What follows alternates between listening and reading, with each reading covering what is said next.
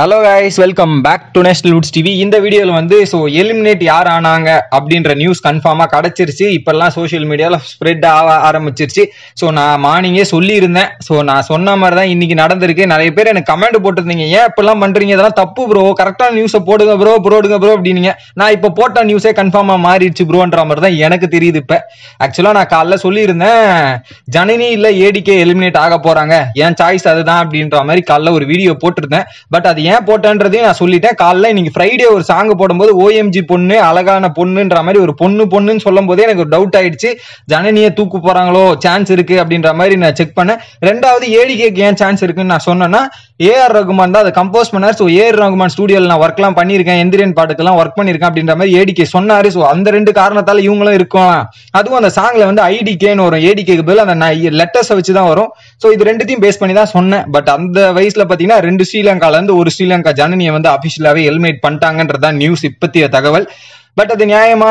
நியாயம் இல்லையான்னு கேட்டீங்களா? என்ன பொறுத்தவரையும் அது ஒரு அன்ஃபேர் எவிக்ஷன்ன்றதுல நான் உறுதியா சொல்லிக்கிறேன். பட் கெஸ் பண்ணது நான் தான். பட் அவங்க எலிமினேஷன் ஆக வேண்டிய டைமான்னு கேட்டீங்கன்னா ஓட்டிங் படி அவங்க தேர்ட் இல்ல ஃபோர்த்ல தான் இருந்தாங்க. நேற்று நைட்டே அவங்க தேர்ட்ல இருந்து ஃபோர்த்துக்கு வந்துட்டாங்க. ஸோ அந்த காம்படிஷன் போயிட்டு இருந்தது.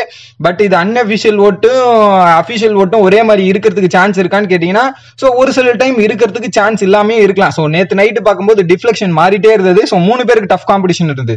ரக்ஷிதா அண்ட் ஏடிகே அண்ட் ஜனனிக்கு uh, மூணு பேருக்கு டஃப் காம்படிஷன் இருந்தது. பட் அதுக்கும் கீழே மணிகண்டா இருந்தார். அப்படி பார்த்தா மணிகண்டா தான் போயிருக்கணும்ன்றது தான் என்னோட கேஸ் ஒருவேளை மணிகண்டா அவங்க தங்கச்சி ஐஸ்வர்யா ராஜேஷ் உள்ள வந்தா ஷோக்கு எதனா டிஆர்பி ஏறும். ஸோ அந்த காரணத்தால அவங்க தூக்காம ஸோ இந்த ஒரு வாரம் வச்சுக்கலாம் மணி நல்லா விளையாடினாரு. ஸோ அவங்க வந்தா நல்லா இருக்கும்ன்ற மாதிரி ஒரு வல்லகையில யோசிச்சிருப்பாங்களோன்ற மாதிரி எனக்கு தோணுது. But anyway ADK or Janani போயிட்டாங்கன்றது Janani வெளியேறிட்டாங்கன்றது எனக்கே அந்த ஒரு கஷ்டமா தான் இருக்கு. ஏன்னா அந்த பொண்ணு ஒரு ஆசாசியா இருந்ததுங்க. ஸோ அந்த வயசுல வந்து இவ்வளவு தூரம் விளையாடுனது பெரிய விஷயம். அதை பாராட்டினாலும் அந்த ஃப்ரீ ஸ்டாஸ்க்கு என் அப்பா அம்மா வருவாங்க. என் தங்கச்சி இவங்க எல்லாம் வருவாங்க. ஸோ ஓரளவுக்கு நல்லா இருக்கும். இது பண்ணலாம் அப்படின்ற மாதிரி ஆசாசியா இருந்தது. பட் அந்த பிக் பாஸ் வீட்டில் அந்த ஆசை இன்னையோட முடிஞ்சிருச்சு. அந்த ஃப்ரீ ஸ்டாஸ்க்கு தகர்த்துட்டாங்கன்றது தான் தெரிய வருது. ஒரே எய்ம் எல்லாருக்கும் பிக் பாஸ் வீட்டில் போறவங்க ஃப்ரீ ஸ்டாஸ்க்கு வரையும் என் பேரண்ட்ஸ் என்ன வந்து பார்க்கணும் இங்க வந்து பெருமைப்படுத்தணுன்ற மாதிரி தான் எல்லாரோட எண்ணமா இருந்திருக்கும். பட் என்ன பண்றது? எல்லாம் விதி விளையாடுச்சோ இல்லையோ? விஜய் டிவி நல்லா ஜன்னியோட வாழ்க்கையில விளையாடுச்சுன்ற முடிவோட நான் இந்த வீடியோ முடிச்சுக்கிறேன் கைஸ்